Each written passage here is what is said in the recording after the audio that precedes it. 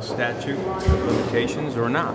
Again, it's this. We're talking about uh, people who have been uh, severely victimized, and they have gone through years of trauma, and it's hard for someone to come out and speak about uh, such heinous acts that were on their body that that happened to them, emotionally, uh, physically, even spiritually, for an individual to go through such a thing. My heart breaks for them.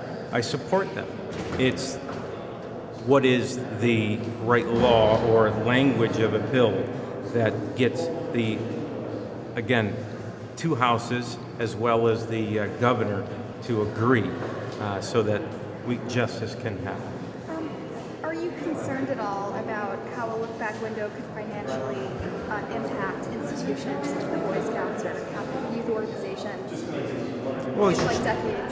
Sure. Look, there's no no question, should should someone who um, committed such heinous act pay a severe price? Absolutely. Um, but let's not forget, there's a lot of people out there that will try to use any any type of uh, and use an excuse of gaming the system too. So I want integrity in the system or of the law so that we don't have a bunch of frivolous lawsuits that just lines the pockets of lawyers as well as um, cost the taxpayers dearly and then brings no justice for those who've been bound by uh, such trauma in their life. Can I ask about the IDC real quick? So you're about to go into session, and Democrats have reunited. What does that mean? We have this uh, upcoming elections. Democrats could take a hold of those two seats. What would that mean for the Capital Region and the voice of the voters here in the Capital Region, who right now are represented more by Republican uh, senators like yourself than they are by Democrats?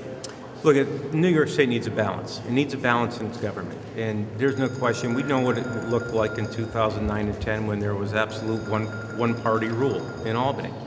Uh, and unfortunately, whether it was the Capital Region, or whether it was the Finger Lakes region, or whether it was out west, or whether it was up north, upstate New York suffered se- severely. And we board to have one-party rule uh, and have New York City and the influence of New York City Democrats rule all branches of government in the state of New York.